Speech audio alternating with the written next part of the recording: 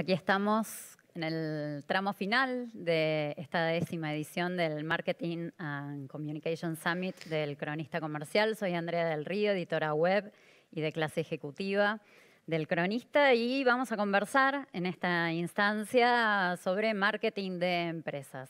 Para eso paso a presentar a nuestros oradores de este mediodía. Tengo aquí a, a mi lado a Ornella, Ornella Rafaguelo, que es directora de marketing de Danone Specialized Nutrition. ¿Cómo estás? Bienvenida. Hola, un placer estar acá. Me, me, alegra mucho que, que, estés aquí.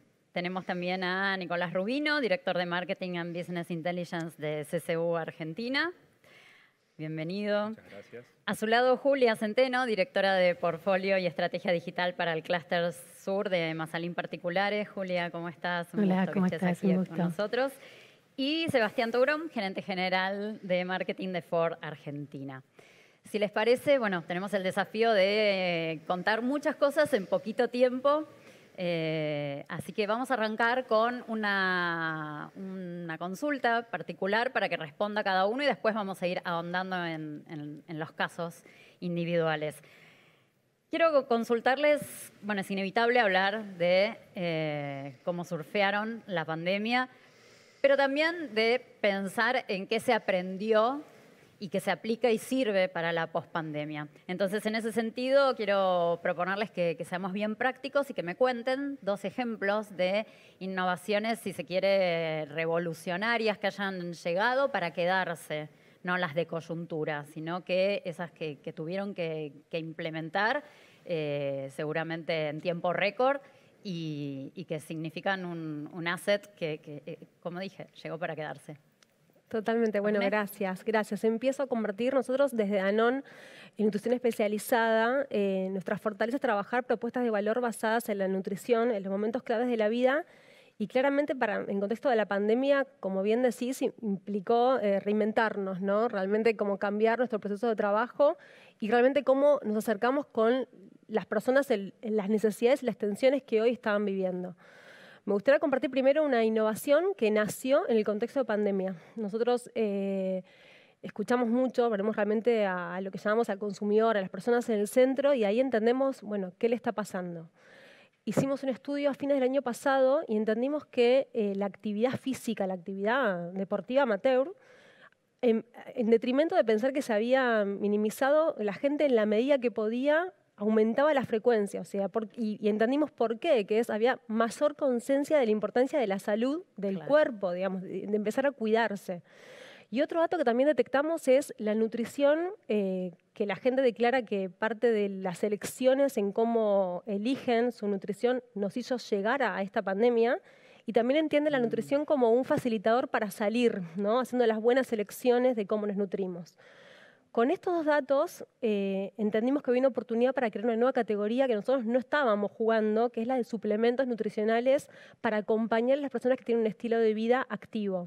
Y de ahí nació Fortifit Pro. Fortifit Pro eh, es un suplemento que tiene proteína, que tiene colágeno, que tiene el 100% de la dosis diaria de vitamina D, que básicamente como estamos también tan encerrados necesitamos focalizar esa vitamina, y el 50% del calcio. Y, y de ahí es que nos reinventamos a a, a, realmente acompañar a las personas con lo que hoy necesitan. Me parece que eso es un, un gran ejemplo que nosotros solemos pensar un poco más, eh, las innovaciones que nos llevan un poco más de tiempo, y acá la ciencia la pudimos resolver eh, de forma bastante más pragmática.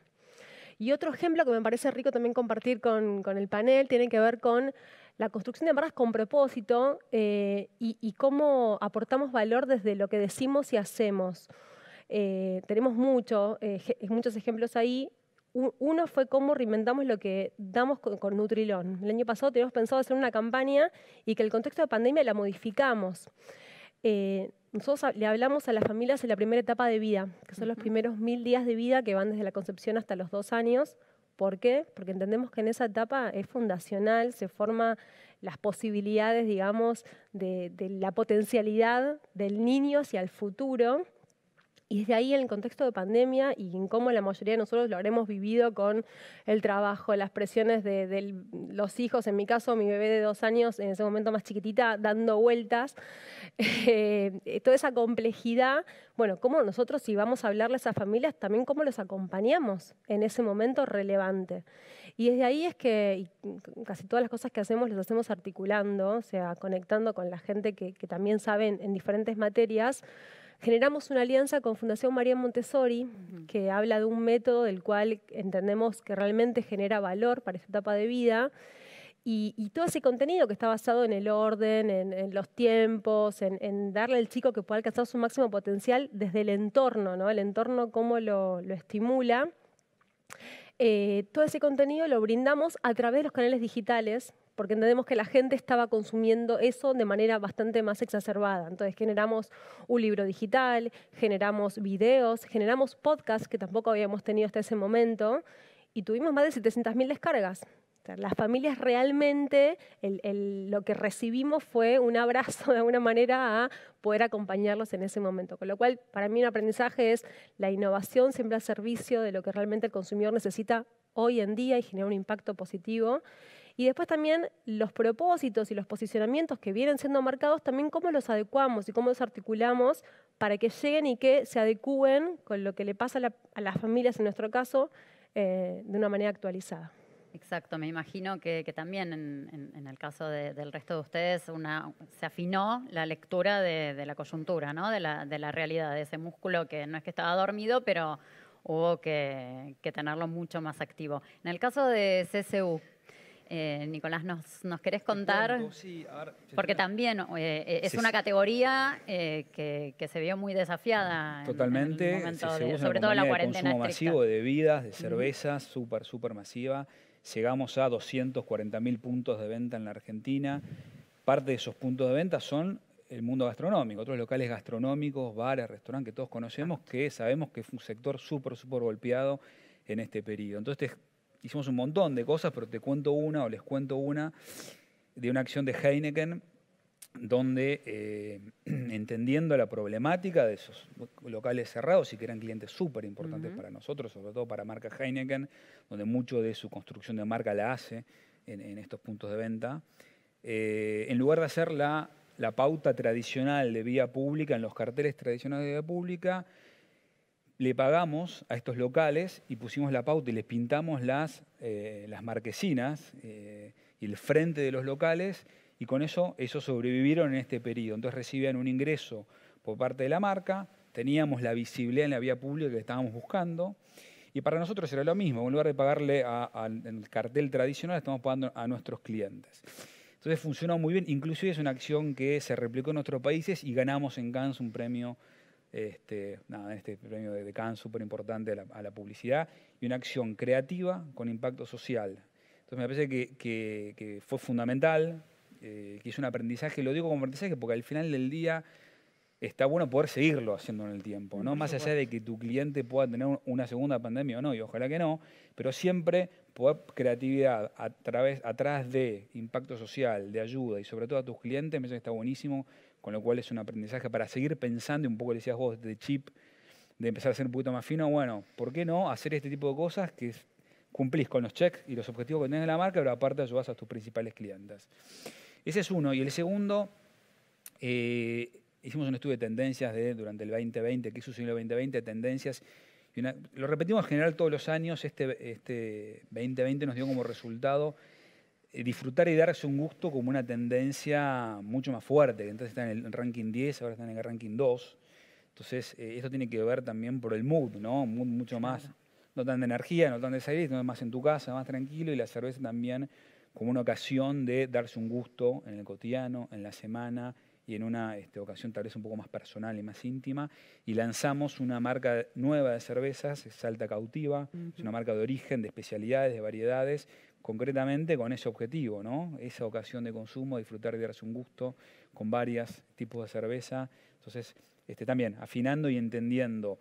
Una, la primera que te conté es una innovación más de, lo que sucedió en ese momento, digamos, de, la pandemia, y la otra más dentro de core business, pero las dos este, escuchando a nuestros consumidores y a nuestros clientes, ¿no?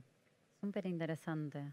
Julia, eh, contame cómo desde Mazalín trabajaron más out of the box posible. O sea, los manuales hubo que quemarlos directamente. O sea, no se, no, se podía reciclar nada. No quedó uno. Exacto.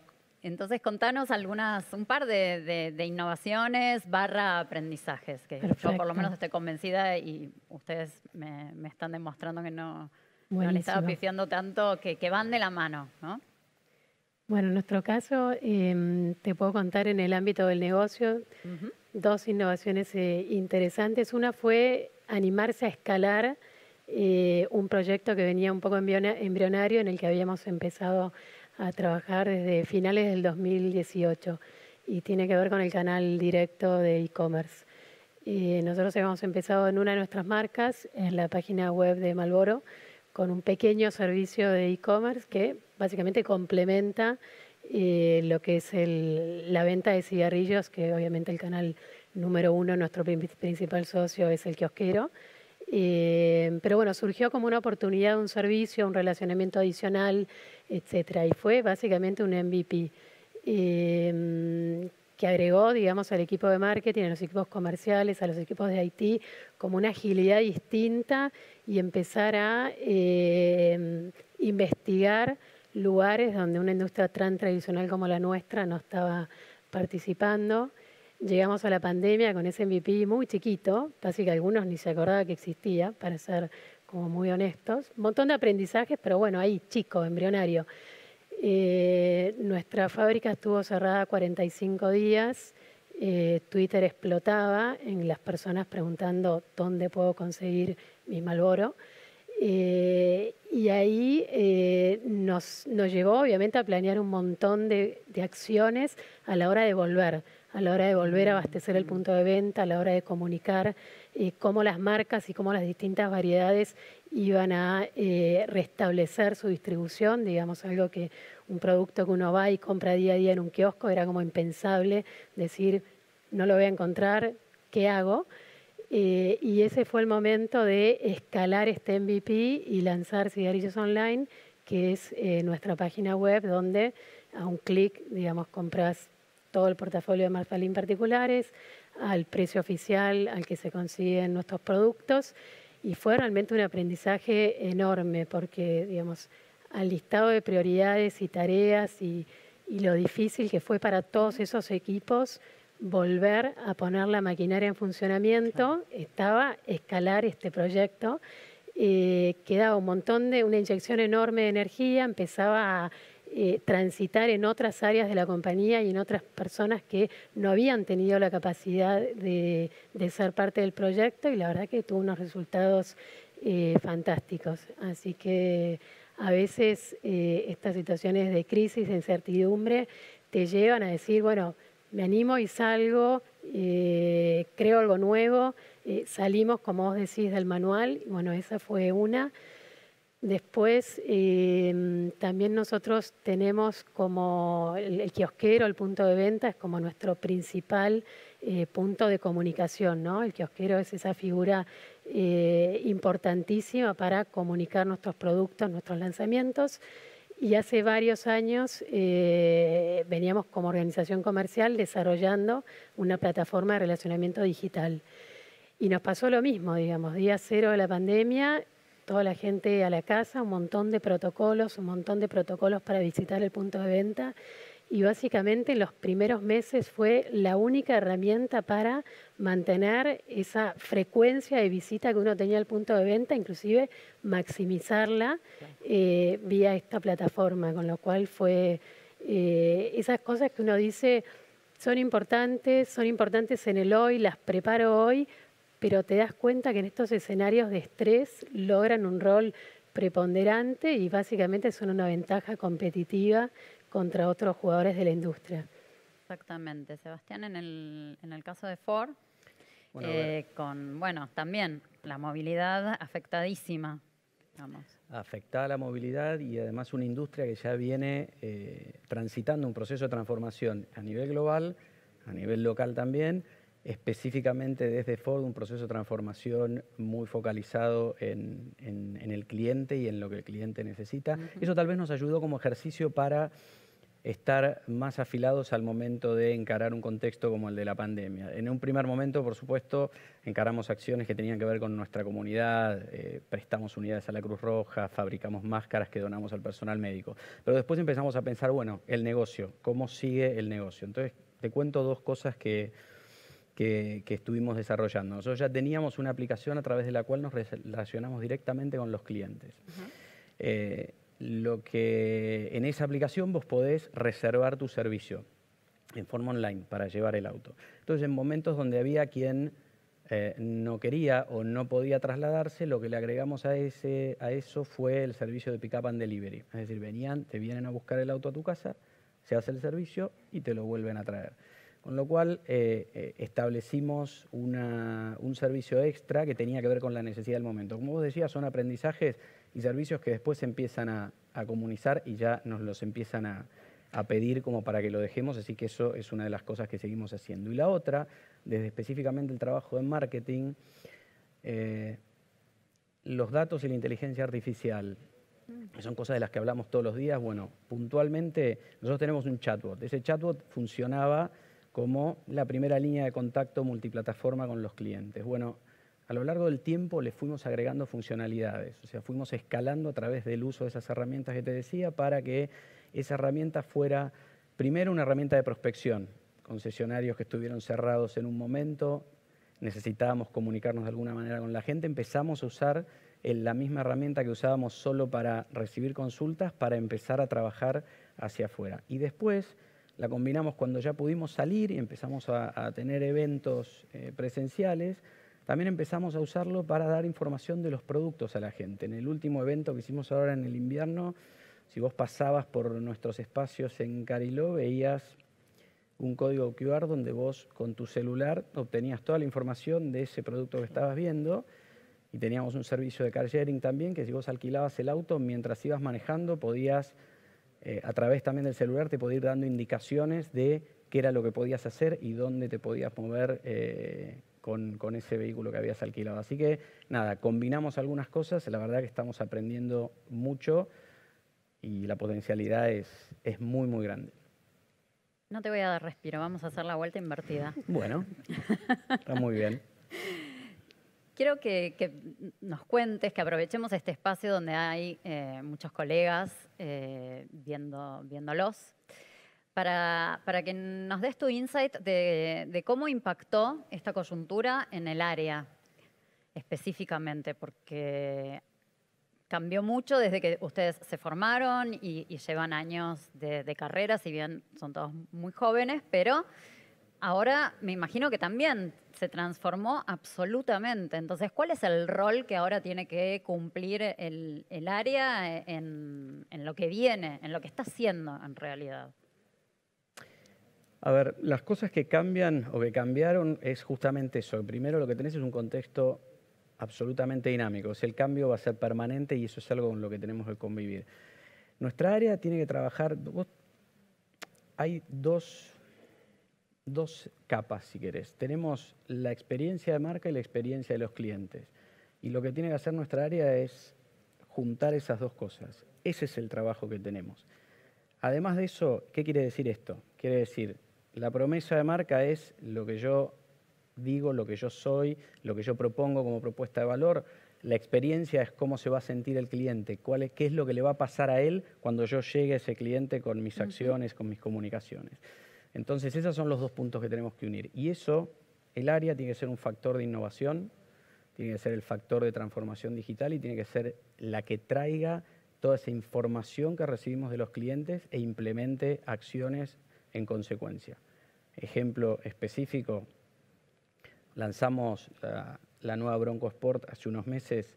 Una de las acciones que más éxito tuvo fue una experiencia de cliente, una entrega especial. Llevamos un cliente de una forma especial con un helicóptero, lo dejamos en el medio del campo y le dijimos ahora usala y volvete. Y esa acción, además la expansión que hicimos, también la hicimos de forma no tradicional, o sea, utilizando otros medios. ¿Y por qué digo lo de la experiencia de juntar las dos cosas? Porque justamente lo que comunicamos fue la experiencia de un cliente, de un cliente real y qué era lo que le pasaba a él con la entrega de un auto. Ese, ese asset de comunicación tuvo en un mes más de un millón de visualizaciones, digamos. Entonces, claramente eso quiere decir que tenemos que entender qué es lo que, qué contenido es el que está dispuesto a consumir eh, el cliente y qué es lo que ellos quieren de nosotros y nosotros tenemos que ser el nexo para que eso ocurra. En ese sentido, Julia, ¿cuáles dirías vos que, son los, los desafíos eh, para comunicar? Porque si bien es cierto que venimos hablando de que la única constante es el cambio, bueno, eh, nos lo dieron en, la cara que definitivamente y en qué medida, ¿no? Entonces, ¿a qué herramientas, recursos eh, apelaron para llevar esto al extremo que proponía la coyuntura? Bueno, yo creo que la pandemia nos puso en la cara algo que venía sucediendo y que en general como, como comunicación uno intentaba abordarlo, pero de golpe uno dice, cualquier consumidor está a un clic de tu marca todos los días. Eh, creo que eso requiere una transparencia, una honestidad muy fuerte en la comunicación, requiere realmente eh, vivir en carne propia esta idea, este cliché del consumidor en el centro. Realmente está en el centro, está enfrente tuyo, está a un clic de mandarle un mail a Julia Centeno o un LinkedIn, no me gustó tu producto, digamos. Ese creo que es el extremo en el cual hoy y el mundo digital lo acelera, digamos. Antes uno salía a la calle, hacía tal cosa. Hoy mi teléfono está a un clic de cualquier responsable de marca para llevarlo al extremo y decirle, esto es lo que quiero de vos. Nosotros venimos como compañía hace años en un proceso de transformación que me siento como en el lugar de decir, estoy en un momento único de mi compañía y pocas veces uno lo siente. Eh, Philip Morris, del cual bueno, Mazalín es la afiliada en, Argentina, desde hace años está trabajando en investigación y desarrollo, muchísimos recursos científicos atrás de desterrar del mundo al cigarrillo. Y uno dice, pero vos vendés cigarrillos y lo estás desterrando. Ese es hoy nuestro propósito. Em, trabajamos en el desarrollo de productos que tengan el potencial reducción de daño, tenemos hoy eh, productos que trabajan libre de combustión. Combustión es prendes un cigarrillo con un encendedor. Esa combustión es lo que genera eh, la mayor cantidad de eh, enfermedades relacionadas al fumar. Y nosotros estamos constantemente tratando de cumplir ese propósito. En ese sentido hay un producto, y es importante, necesitas tener el producto que cumpla con esa promesa o con esa expectativa de tu consumidor, pero también hay un rol importante en la educación y la comunicación. Y eso es lo que yo creo que a nosotros nos transforma eh, más fuertemente. Porque una cosa es comunicar una alternativa de marca, comunicar una alternativa de sabor, y otra es entablar una conversación de cambio, educar sobre alternativas. Eh, con lo cual, de nuevo, si vuelvo a mi rol, mi rol hoy es eh, inspirar en esa transformación, inspirar a mis equipos, eh, inspirar a entablar un diálogo con la sociedad en cuanto a eh, cuál es el propósito de Philip Morris en este mundo. Así que un mm, poco profundo, digamos, pero bueno, es el lugar en donde, en donde estamos, en donde como equipo, digamos, todos los días nos llevan al trabajo a hacer de alguna manera una realidad esos productos acá en la Argentina. Bravo. Nicolás, eh, en, un rubro como, el de CCU, eh, una categoría que está, venía muy asociada a la ocasión de consumo, ¿no? Y la sociabilidad y el compartir, cómo tuvieron que resignificar el, marketing y la, y la comunicación para, bueno, para que se adaptara también a, a la nueva realidad. Sí, mucha del mundo cervecero tiene que ver con eso, ¿no? con las conexiones, con el compartir. Este, y muchas de las ocasiones de consumo y gran parte del consumo tiene que ver con, eso, con esos momentos. Eh, a ver, te, cuento un poco, en, el inicio, allá por marzo 2020, ese segundo Q del 2020, que fue todo muy nuevo, ahí como un gran parate, este, revisemos los planes, y sí, ahí hubo un, un, cambio abrupto de lo que teníamos en los planes de las marcas y salimos fuertemente a hacer acciones concretas de concientización, acciones de ayuda a las comunidades donde hoy tenemos las plantas, en Luján, en Salta, en Santa Fe, este, de donaciones, inclusive lo que te comentaba de Heineken, este de ayuda a, los clientes y otras acciones más. Entonces, ese fue como un primer paso que hicimos muy fuerte de orientar nuestro presupuesto hacia eso. Obviamente y siempre también hay parte de frente a la incertidumbre, reducir un poco las acciones y después cuando se acomodó un poco, lo que nos pasó es que siempre creímos que parte del consumo de los momentos de sociabilizar, este, nos bajó el volumen en ese momento, pero después empezó a crecer nuevamente porque, como te decía antes, también hubo un, crecimiento del consumo durante la semana y en el hogar. Por eso esta propuesta que también datada de lo que te comenté anteriormente a eh, marcas que tengan propuestas de, nada, de lo que llamamos nosotros el personal reward, la recompensa diaria y cotidiana en, en las casas. Entonces todo el mundo de las variedades está funcionando muy bien nos pasó una particularidad de que nosotros como compañía y por las marcas que tenemos, tenemos mucho plata de marketing en sponsoreos de la selección argentina, del mundo del rugby, del mundo del polo, de la Champions del fútbol. Y todas esas son cosas que se frenaron o volvieron sin público o no se pueden hacer los eventos de música del mundo cervecero que es ultra este, de fuerte. Entonces todo eso lo tenemos que volcar hacia innovación, nuevos productos, punto de venta, y reinventarnos en ese sentido, pero al final del día trajo buenos resultados y hoy estamos en una industria sana en términos de, crecimiento, de innovación y un consumidor que está súper interesado en, los productos, en qué es lo que hay adentro, cómo se producen. Entonces e, está buenísimo, un consumidor más educado, más interesado y ahí CCU tiene una oportunidad muy grande para seguir creciendo. Por la calidad de nuestro, es un lema enorme para nosotros, no se negocia entonces, este, con buenos productos, con un portfolio súper amplio que tenemos, este, que es complejo para, administrar, pero está alineado a lo que está buscando el consumidor, probar nuevas marcas, nuevas variedades. Entonces es mucho más complejo, pero estamos en la senda adecuada. Orne, te toca cerrar y nos contaste cómo, impacta en el social listening, en, disparar innovación. Eh, pero, ¿cómo impactó eh, también este proceso en si hubo redefinición de propósito eh, para, la marca. Em, lo que les compartí antes de Nutrilón es una forma de cómo ponemos en valor el propósito de la marca y para nosotros las marcas expresan el corazón del propósito de la compañía, por eso que nuestras marcas son tan protagonistas, es el vehículo que tenemos para conectar. Eh, nosotros definimos el propósito como las marcas que abrazan valores, que abrazan territorios eh, que hoy son relevantes para la sociedad y que también son relevantes para la compañía. Eh, me gustaría compartir así como dos ejemplos que, que, ponen de manifiesto esto con Nutrilón. Por ejemplo, con la última comunicación que hicimos, mostramos las familias diversas, mostramos que la crianza hoy se da con las nuevas familias, ¿no? Digo, más allá de la pandemia, el proceso de transformación social ya viene siendo algo que, del cual todos somos parte. Y, cuando compartimos eso y lo comunicamos en, nuestras redes de manera muy natural, el consumidor, las familias lo abrazaron porque sintieron esa conexión empática, se vieron reflejados.